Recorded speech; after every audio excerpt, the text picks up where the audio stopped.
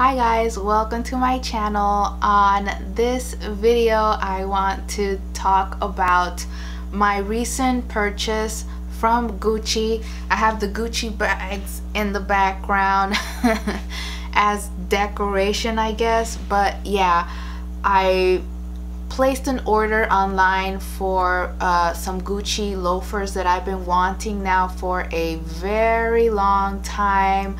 I finally pulled the trigger.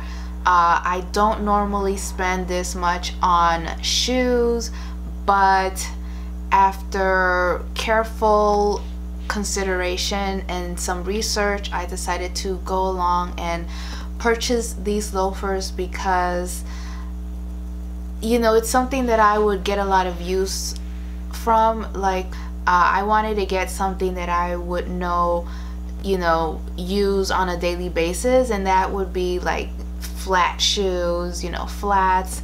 It's something that I would use for, um, yeah, a lot of occasions. So these loafers are a classic for Gucci. They have a very long history. Um, you know, Gucci is known for their loafers, so I really wanted to. Uh, have the experience of the Gucci loafer and see for myself um, how they perform, how they are. I've been watching so many videos here on YouTube of people reviewing their um, Gucci loafers and a lot of them are talking about, you know, having them for five years or 10 years and stuff. So yeah, that really got me thinking about, you know, it would be more like an investment instead of like a purchase where I really get my money's worth because they last a really long time. So hopefully, cross fingers, that is the case with these shoes and they last a long time. And so yeah, I want to experience, see if it's worth it or not. I got, so yeah, I got these white um, Brixton for reference, I'm normally a size 8 when I purchase flats, uh, you know, whether it be ballerina flats, uh, sneakers. I usually get a size 8, but for these, I ended up getting a size seven and a half, or in Italy, size would be like a 37 and a half and uh, these fit me perfectly because the size 8 I actually tried them on and they were way too big. Like I can fit my entire finger in the back and when I walked they were they would slide off. So I ended up going with the seven and a half and these fit perfectly. Um, they do fit a little bit snug here on the foot area like the toe area but um, these since it's leather and especially these white ones which are the Brixton they're softer leather. They're going to stretch significantly and so there isn't an issue with that. Um, it's going to stretch. Uh, I just recently got these so I really um, uh, can't say if it's stretched or not because I just got them but yeah these are the Brixtons and I have been lusting over these for the longest time. I just think they are so chic. I can see myself wearing this with like mainly with like an all black outfit and then just these white loafers. That would look so chic. But yeah I got these and I also went ahead and wanted to get like a simple classic black loafer. And so I got the Jordaan. I decided to go with the Jordaans because um, the leather is a lot stiffer. And uh, yeah I wanted to see what's the differences like um, as far as comfort and longevity you know what's the difference between the Jordaan and the Brixton? Um, obviously the noticeable difference is the leather like on the Brixtons is softer and and also uh, the Brixton gives you the it gives you the variety where you can put these down like this end part and fold it down and it actually has like a stitching here it has this stitching so that you can if you want you can fold them and use them as like um like a sandal.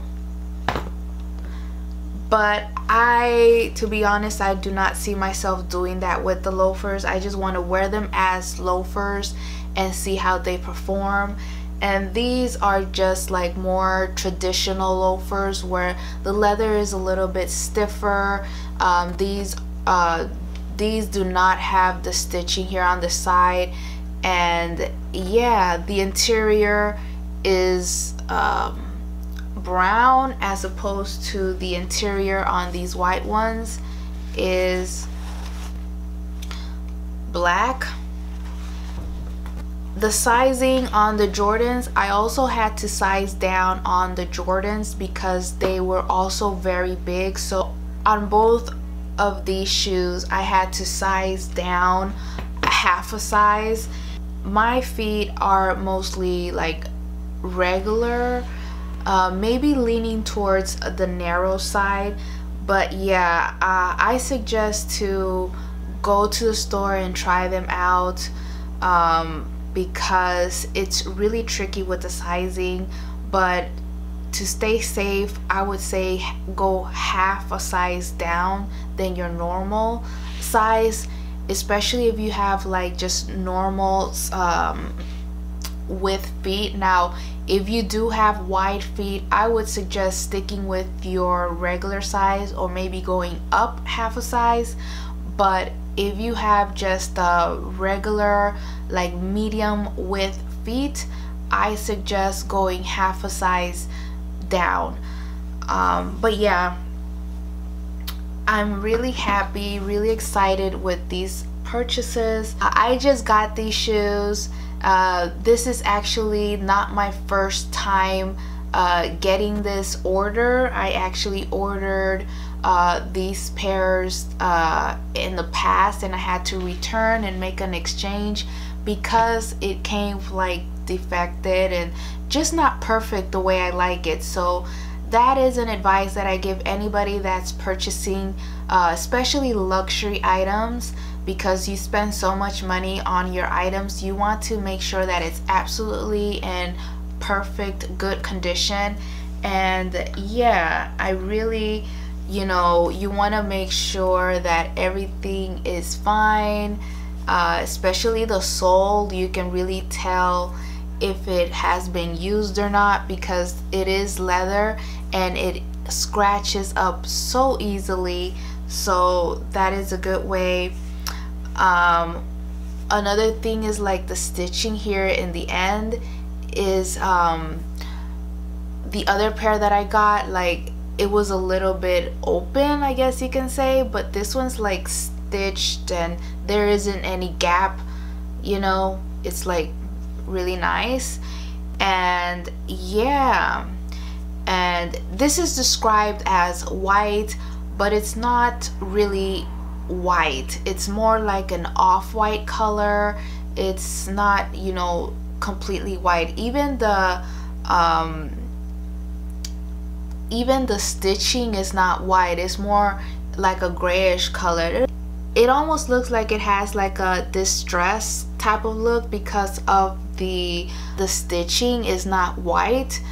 And I think that's what makes these loafers a little bit more modern is that it has that this distressed look to them. Now the Jordaans they just look absolutely perfect. Like this is like th there is anything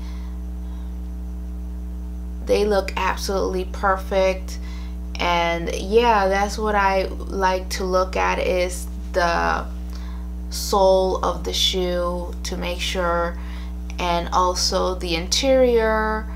Um, these crease really easily here in um, here in the front. So another way to know if somebody used your shoe before purchasing is to see if there's any crease in this area. And uh, that means that you know the shoe that you bought probably was used by several other people. You know they try them on and use them around the store. So that's something to avoid. Um, but these look absolutely brand new.